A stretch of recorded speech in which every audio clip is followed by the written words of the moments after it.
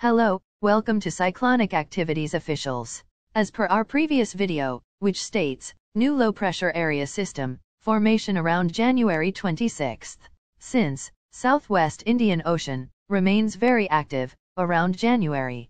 This year also, it seems, it won't be a normal month, for Southwest Indian Ocean season. Hence, the tropical system, could possibly form early, that is around, January 21st. As per the latest GFS model forecast, a low pressure area is expected to form over the northeast of Mauritius around January 20th. As per track and category is concerned, this system is expected to move in the southwest direction and become a tropical depression by 21 January. As it continues to move in a southwestwards direction, a rapid intensification is expected to hit at this stage, and within the next 24 hours, severe tropical storm or cyclone Candice is expected to form around 22 or January 23. As of now, severe to tropical cyclone category is expected, with a wind speed ranging from 100 to 155 kmph.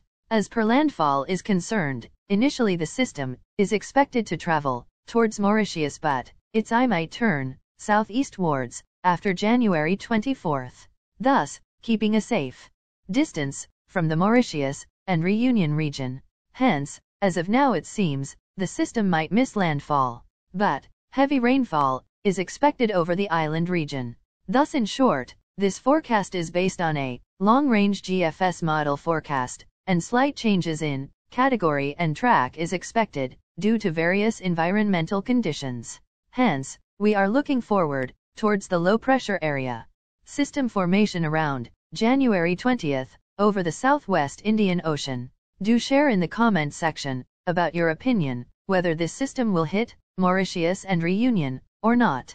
Don't forget to like, share, comment and subscribe to us for more tropical updates.